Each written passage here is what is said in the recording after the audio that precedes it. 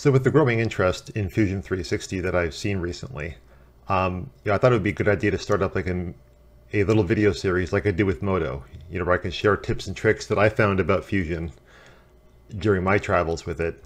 And hopefully you'll share stuff in the comment section that you found that I haven't seen maybe, and together we can all learn something.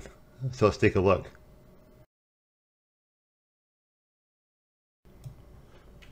So the one question that I get from people who are just starting up with Fusion is they want to know about how can they customize the interface or more specifically hotkeys and things like that. And the main thing to remember here is that you're not in Modo anymore. Your options are limited. Um, in the current state of the program, uh, it has hotkeys, but you can't customize them or or set them. So uh, learn the ones that are there because it's useful. Like if I pull down the create menu, you know, like hole is set up the H, extrude is set up the E. They have a few hotkeys they've assigned that they feel are useful, but that's as far as you're going to be able to go. There's no pie menus or anything like that either. So uh, uh, there is one thing you can do to uh, customize your interface though, and that's uh, this toolbar up here can be customized. So let's say that I pull down the create menu uh, and I find myself making spheres an awful lot. Well, every command that I hover over, you see it's got this little, um, a little uh, up arrow that appears over there. If I click that up arrow, that means that sphere now appears up on this uh, menu bar up here. Let's say I want to do the same thing for the pipe command, right? So now they're always up on top and they're available to me. And if I want to get rid of them, I hold down Alt and drag them off. That's about the extent of what you can do from what I've seen. But, you know, uh, it's better than nothing, right?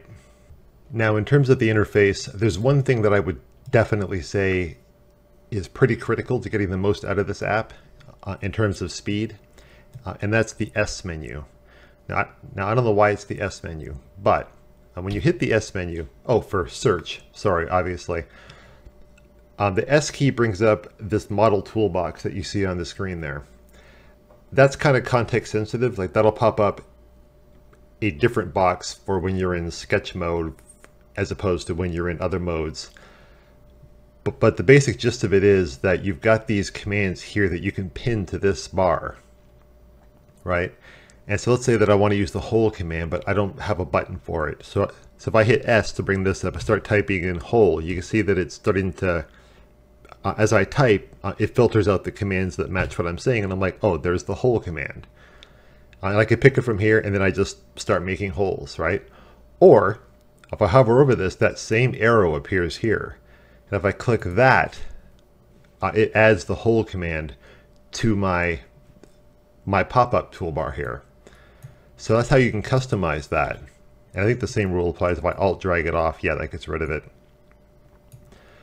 Um, that seems like a small thing, but seriously, uh, I use this all the time. I hardly ever go up here to this menu. I just hit S, and if I don't have a command pinned, then I just do a quick search for it. And like, let's say I want to you know, find the pipe command. I start typing pipe, boom, there I'm done, and I've made a pipe, you know. So yeah, um, get, uh, get to know this little search box that pops up because it is super useful and will speed you up quite a bit.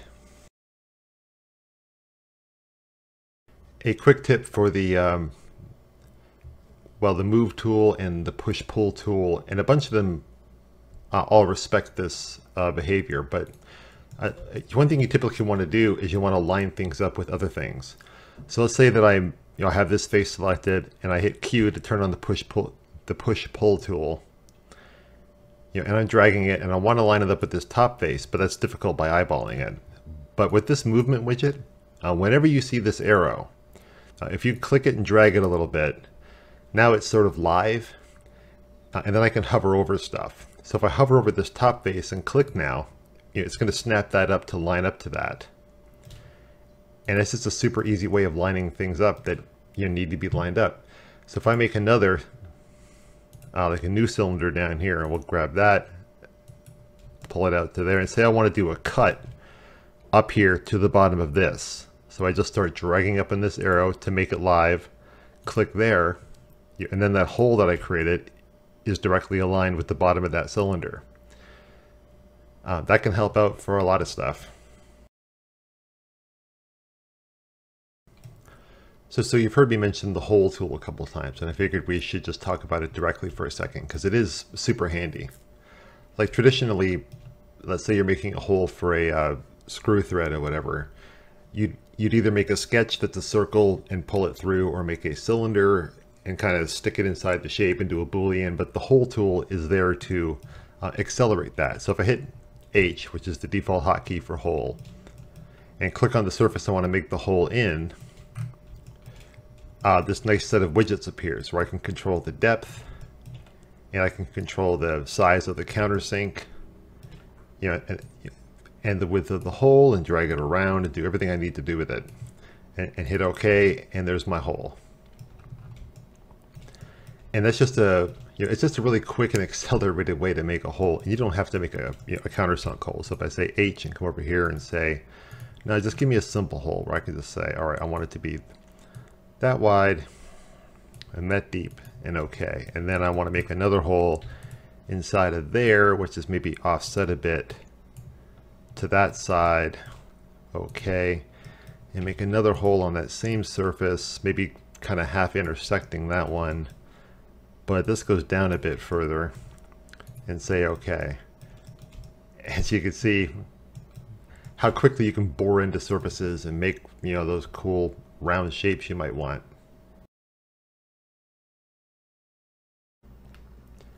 Okay, so real quick, I wanted to talk about the patterning tool.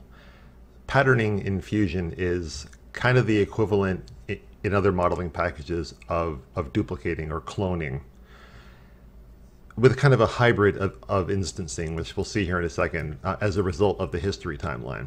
So if I go into, I think patterning is on the modify menu, or create menu, sorry, pattern. Um, you have a couple different options. You can uh, you can pattern in rectangular patterns or straight lines or specific paths or circles or whatever you need to do, right? Uh, we'll just pick rectangular for now. Now the way that I'm going to use this here is I'm going to select these faces here because this is what I want to pattern uh, across this surface. So then I have to pick my direction, which will be my x-axis, and I'll just drag this out and say okay. Okay, now I've got these holes sitting out here. Now where patterning uh, is really cool, well sorry, where the history timeline is cool, is let's say I grab this thing here and I activate the push or the offset faces tool. You know, I keep calling it push the push pull because of SketchUp, I think. It's, it's like stuck in this uh, crevice in my head, but the offset faces tool. So if I push this face up and down, you can see, you know, uh, you know I'm only affecting that one. Uh, but if I go back to the original and offset this face, now they're all updating to match that one. And that's simply because of how the history timeline works. So I've got that face selected, and you can see in the history timeline, it uh, the little squiggle appears on this step here, which is when I first created that hole. Then moving down the history pipeline, you see that I've got a uh, offset faces and I've got a, a rectangular pattern copy and all that. So these are effectively, uh, these two holes over here are effectively uh, an instance of this hole. So any changes I make here, you know, uh, you know, including punching it through, well, it gets a little angry about that. You can break things down the line, but just you know, it's just nice to have this capability to be able to adjust things on mass like that. And that's really all there is to show with the patterning tool. I just wanted to, you know, to expose you to the instancing type behavior that it has.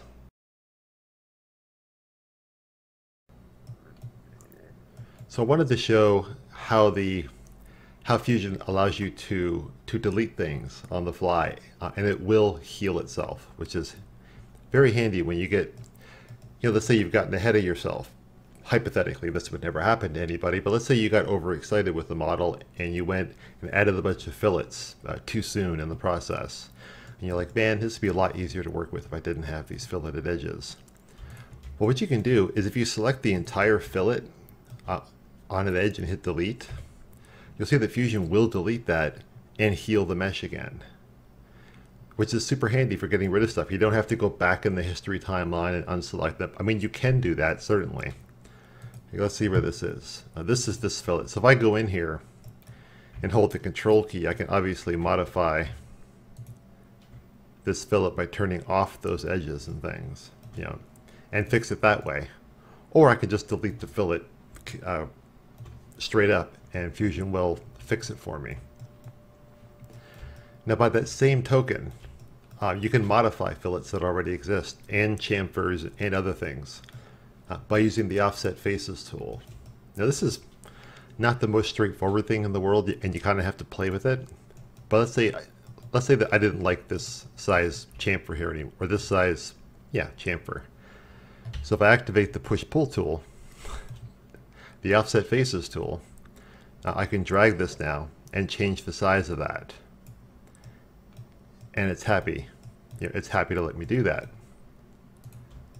And I can also do that with filleting. Let's say that I select this fillet here, offset faces, and I can go ahead and adjust that fillet. Now you'll notice the other corner uh, is also updating. And it's because uh, when you're doing that, you're modifying not just the face you selected, but every, sorry, not just the fillet you selected, but all the fillets that got done at that same spot in the timeline. That can get a little weird, but uh, once you understand what's going on, it, it's fine. Because I don't think Fusion has the ability yet to do, um, or or I know it doesn't have the ability to do variable fillets, like you know uh, ones that get fatter in the middle and stuff. I'm sure it's coming, but it's not here yet. So uh, for now, you're editing fillet operations as a you know, as a whole.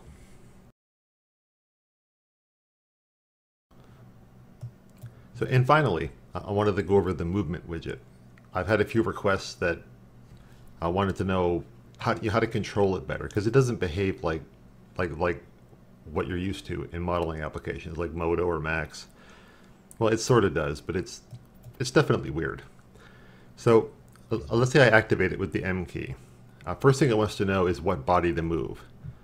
So let's say I hover over this one here. Now when you hover over a body, you have these anchor points you can click on. And the widget will snap to those anchor points and use the orientation of that anchor point as the movement axis. So if I click, let's say, uh, right on this edge here, that's where the widget appears and it's oriented right there. And I can drag this over, you know, to get as close to that as I want to. But there's a better way. Like, uh, let's say I wanted to snap those together. You know, all I would do is begin dragging, then cursor over here, and click on that face, and that'll just move that over to match up. And, and, you know, and we saw that back in the other video, you know, as well. The move, you know, the moving snap to stuff. Um, that applies with you know with this as well. So let's say that I pre-select a body and hit move. Now the widget snaps right here by itself, right? That's what happens that was the difference, right? If I hit the movement key and cursor over, I can pick where I want this to sit. Uh, but if I pre-select a face on a body and hit the movement tool, uh, it defaults the uh, the widget to the click spot, I think, and takes on the orientation of the world, which is not often what you want. Like if I want to move this thing through its local axis, that's just not going to work out well. So the way to fix that uh, is to over on this dialog, hit this button here, the set pivot, turning that on uh, gives you those same handles back again where you can click on where you want this to be oriented. So if you pick an edge facing in the correct direction and click it, now that's your movement. Uh, that'll be your movement axis. And there's a weird, or in my opinion, a weird UI thing here. You have to go over here and turn that off again. Uh, if you leave that on, you're just going to move the widget or move the origin again. So turning that off, now we can move this uh, through its local space. And that works the same with rotation or anything else. You know, rotations in local space, movements in local space. So the, the last thing to deal with the movement widget is there's a feature called point to point. So if I pick this body and I click this button here, I can click this and say, okay, this point, so I click that, will snap to this point and click that.